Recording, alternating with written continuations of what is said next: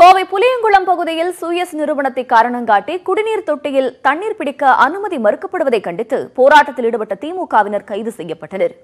கோவை புளியங்குளம் பகுதியில் மாநகராட்சி சார்பில் நாற்பது ஆண்டுகளுக்கு முன்பு குடிநீர் தொட்டி கட்டப்பட்டது. அந்த பகுதிகளில் வீடுகளுக்குள் குழாய் மூலம் தண்ணீர் வராத போது பொதுமக்கள் இந்த தொட்டியை பயன்படுத்தி வந்தனர்.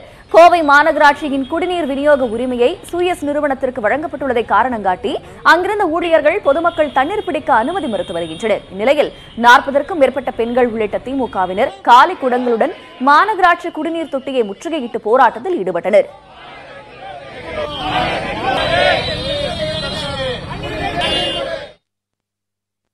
கடந்த ஒரு மாசமா புளியகுளம் மேல்நிலை தொட்டியில நாங்க எப்பவுமே தண்ணி வரலைன்னா பப்ளிக்ல எங்க வீட்டு பக்கம்லாம் தண்ணி வரலைன்னா இங்கே தான் வந்து தண்ணி பிடிப்போம். இப்போ இந்த ஒரு மாசமா இந்த சூயஸ்க்கு இவங்க தண்ணி வித்ததுல இருந்து நாங்க வந்து தண்ணி பிடிக்க வந்தா இங்க இருக்கிற ஜேஇ அவன எல்லாருமே என்ன பண்றாங்க உங்களுக்கு தண்ணி விட மாட்டோம் இது வந்து சூயஸ் நிறுவனத்துக்கு ஒப்படைச்சிட்டாங்க. நாங்க தண்ணி விட மாட்டோம்னு சொல்லி எங்களோட குடத்தையெல்லாம் பிடுங்கி வீசி எறிஞ்சு கடந்த ஒரு மாதமா இங்க வந்து எங்களுக்கு தண்ணி விடுறதில்ல.